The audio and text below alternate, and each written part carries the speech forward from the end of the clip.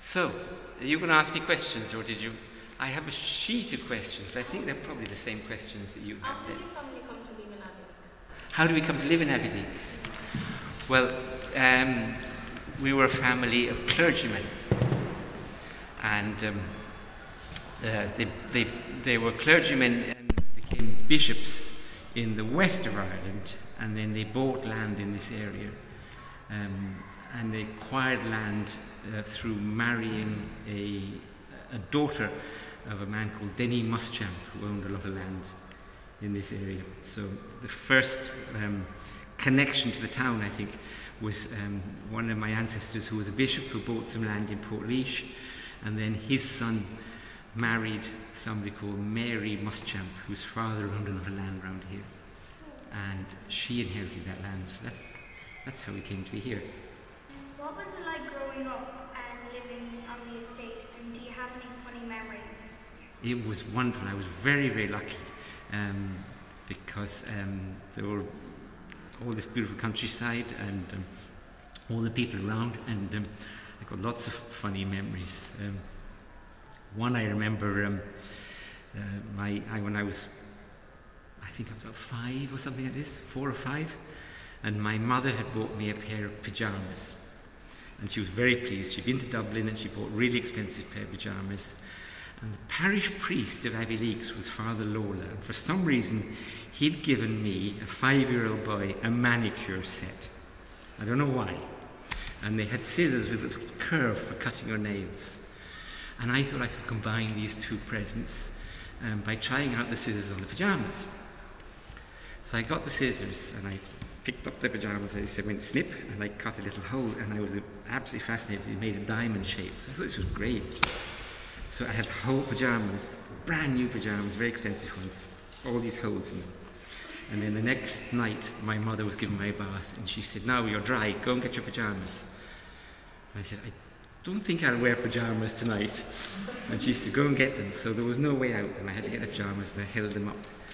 And it was the only time she put me over her knee and beat me with a hairbrush. She was so cross about it. And I thought this was a terrible injustice that I'd be beaten like this. So, about an hour after I'd been sent to bed, somebody who lived at our back door saw me on my tricycle heading off, long after I was meant to be in bed. And they said, What are you doing? And I said, I'm not going to be treated like this, I'm going to Dublin. And she said, Well, you better have a cup of tea before you go. There's a long old trip. And I said, Well, right, okay. Just one, mind you, I have to be getting on. It was, it was a summer's evening, and um, she informed the authorities, my parents, they came out to get me. So that was one of my stories. So I never got very far on my tricycle. Who worked on the estate house, and are, are those jobs still in use today? Well, was um, one of the great things about Leix was the employment that the estate offered, and whereas nowadays people running businesses try to not employ more people than they have to because the business has to make money. Back in the in those days, the the family saw the duty of the estate being to employ as many people as possible. So there was a huge amount of people, and even when I was a very small child, there were over 100 people working there. The sawmill provided a, a lot of employment, including for, for Jimmy Harford. Um, so most of them were working in the sawmill, and the forestry provided a huge amount of employment, and the farm as well. And there were nine gardeners back in those days. So a lot of those jobs don't exist. There were a lot of people. There was I can remember uh, four people living in the house and working inside the house as well. A lot of those jobs don't exist anymore. The sawmill's gone, and there are other employment opportunities for the people of Leix now. But back in the day, unless you were lucky enough to own a farm, um, there weren't many opportunities. So the estate felt it had a duty to offer opportunities for employment. So um, uh, that, and a lot of those jobs don't exist anymore. Of course, there are jobs still on the farm, and um, there are jobs in the woods, and I think the new owners will probably be employing more people, which is good news. So there are some of those old jobs are still there. Is it true that Abbeyleix is the oldest town in Ireland? Nearly. Nearly. It's not the oldest, but it's one of the very early ones.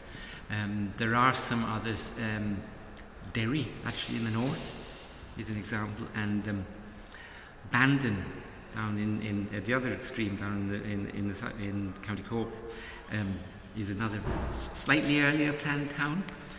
And Portarlington, you probably know Portarlington.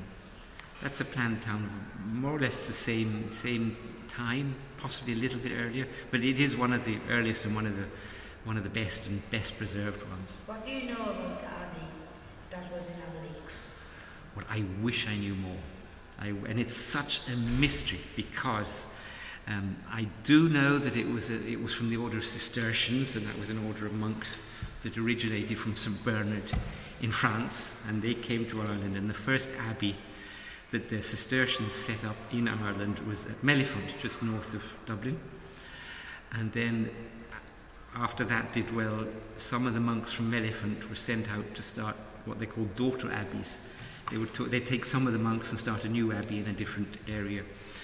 One of, one of them was Baltinglass. And there are other Cistercian abbeys that then was like the next generation, where some of the monks from Baltinglass came to Abbeyleix to start another one.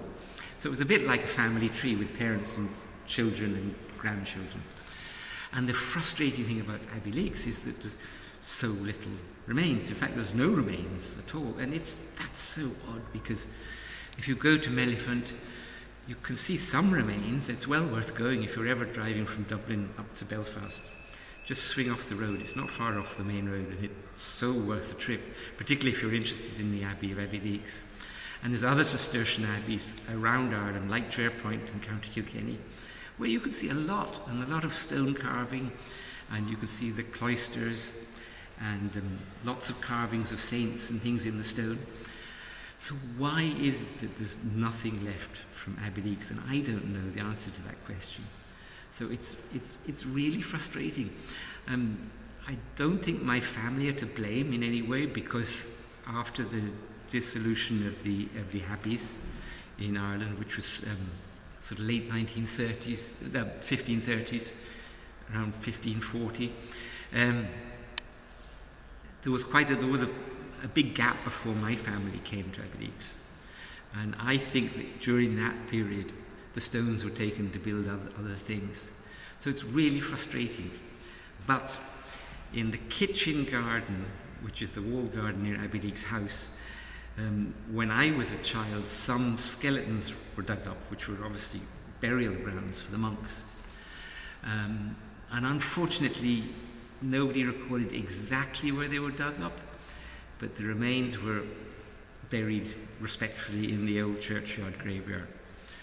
And maybe the new owners um, might actually try to find out more because there's new technology now where without digging everything up, you can do a sort of x-ray of the ground uh, that might help pick up where foundations might lie from earlier structures. So I'm keeping my fingers crossed that with the new owners, we might actually suddenly get a lot more information because it's just so puzzling that where did all this stone go? And why is there nothing left? Um, so it's a real mystery, but I'm really hoping now that we might find out more in the, in the era of the new owners.